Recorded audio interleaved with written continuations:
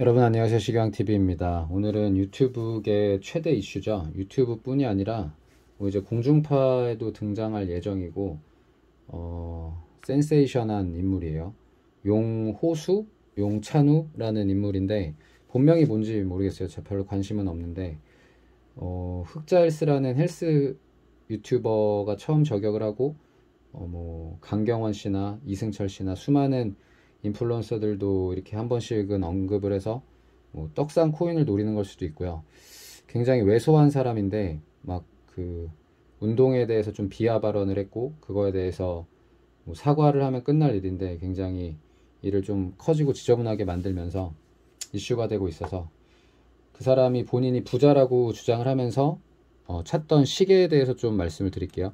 지금은 제가 어, 또 사무실에 두고 온 데이데이트 green 뭐 영상은 많이 찍었었는데 118238 블랙 다이얼 시계를 차고 있더라고요. 어, retail가가 한 4,200 정도 되고 resell가는 많이 떨어져서 요즘에는 뭐 한 글쎄요 3,000 초반 정도면 구매할 수 있는 시계고 모르겠어요. 어, 매장에서 샀을지 중고 거래를 했을지는 모르겠고 정품인지 가품인지도 알 길은 없는데 그걸 뭐 가품으로 사지는 않겠죠. 그리고 뭐 그렇게 비싼 시계는 아니에요. 일단 그 사람이 음, 저격을 당한 뒤에 본인은 본인 입으로 부자라고 한 적이 없다라고 했는데 과거 언행들을 보면은 뭐 천재 5년 천, 천재 뭐 5분이 뭐 평범한 사람들의 20년보다 더 귀하다 뭐 이런 이상한 발언들을 많이 했던데 어 본인을 높이면서 남을 낮추고 비하하고 헬스 쪽뿐만이 아니라 뭐 종교계로도 그렇고 우울증 걸린 사람들 비하하고 되게 에, 빌런 짓을 많이 했더라고요. 근데 빌런은 보통 되게 강한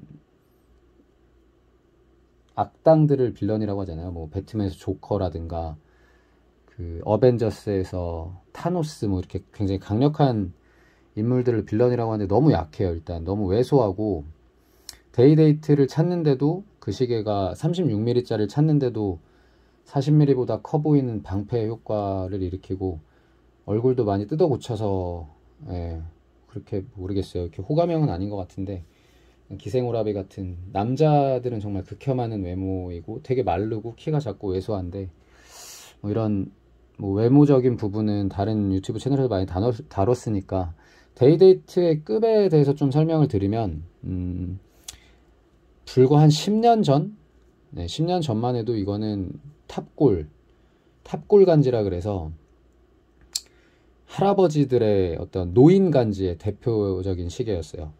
bracelet이 제가 다음에 영상 하나 또 올릴게요. 이 프레지던트 bracelet이 이렇게 오이스터랑 다르게 좀 자잘자잘한데 그런 디자인이 조금 음, 현대 트렌드랑은 좀 맞지 않고 어, 롤렉스의 역사가 금통시계가 원래 데이데이트는 유일했어요. 그러니까 서브마리너나 다른 스포츠 라인들은 금시계를 내놓지 않았었기 때문에 그 클래식한 디자인의 데이데이트가 역사성은 있는데 아무래도 그러니까 좀 나이가 들고 성공한 사람들 그러니까 지금은 젊고 성공한 사람들이 많은데 그 용찬우 씨 말고 진짜 노력해서 성공한 사람들이 이렇게 개소리로 사람들 선동하고 이렇게 돈 많은 척 하는 게 아니라 진짜 어, 부자들, 재벌들은 좀 나이가 들었다는 이미지가 강할 때부터 있던 시계이기 때문에 그 시계를 차면 좀 있어 보이고 좀 나이가 들어 보인다 해서 탑골 간지라고 했는데 이 트렌드를 바꾼 게 어, 제가 생각할 때는 뭐 수많은 래퍼들도 차지만 빅뱅의 지드래곤이나 뭐 태양 이런 사람들이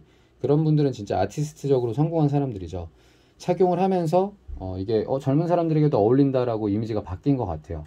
저는 그 전에도 데이데이트를 좋아했었는데 왜냐면 착용감은 확실히 이런 시계들보다 좋아요. 이 bracelet이 이거에 한 반정 정도 반절 정도 되고 그러다 보니까 손목을 감싸는 게 이건 지금 12코 13코가 full 13코가 full코인데 그거는 24코가 full코기 때문에 손목을 감싸는 느낌은 더 좋은데 어, 조금 그 인식이 그렇게 막 젊은 사람들이 차기엔 좋은 시계가 아니었는데 그걸 바꾼 인물들이 뭐 수많은 뭐 래퍼 flex라고 하면서도 찼지만 제 개인적으로는 그런 조금 더 유명한 어, 지드래곤이나 비, 태양, 빅뱅의 태양 이런 사람들이 차면서 좀 이미지가 많이 한국에서도 young하게 바뀐 것 같고 뭐 돈 자랑할 때 많이 차는 시계기는 해요. 근데 이걸 굳이 차에 비교하면은 음, 뭐 벤츠, 포르쉐 이런 느낌이 아니라 아반떼 같은 느낌이라고 하나. 그러니까 비싼 시계 중에 아반떼요. 제가 원래 그 분에 대해서 관심이 없어서 섭마 블랙을 차는 줄 알았는데 그래도 이미지 검색을 해보니까 데이데이트 블랙을 하나 갖고 있길래 어, 시계는 또 이게 가치가 유지가 되기 때문에 resell도 가능해서 절대 부자들이 차는 시계는 아닌 것 같아요. 진짜 부자들은 보통 파텍 필립이나 오데마 피게 바세론 콘스탄틴 이런 시계를 차고 그렇게 드러내놓고 본인이 자, 부자라고 자랑하진 않죠. 진짜 부자 시계 유튜버 분들 영상을 보면은 뭐 데이데이트 그러니까 데이데이트 자체를 무시하는 게 아니라 그 시계를 차고 본인이 돈이 많다고 자랑하는 그 행위에 대해서 별로 옳지 못하다라고 말씀을 드리는 거고 1부는 여기까지 하고 2부는 네, 진짜 데이데이트를 가지고 설명을 드릴게요. 이제 그 블랙 다이얼보다는 가격이 훨씬 더 고가에 거래되는 그린 다이얼 그리고 어떻게 블랙 다이얼과 그린 다이얼이 출시가 어떻게 되고 그 다음에 또 어, 판교체에 대해서도 좀 알려드릴 거니까 관심 있으신 분들은 2부를 참고해 주시고 이번 영상은 급하게 찍은 이유가 저도 그 용찬우 코인 좀 타보려고 조회수 잘 나왔으면 좋겠네요. 궁금한 건 댓글 남겨주세요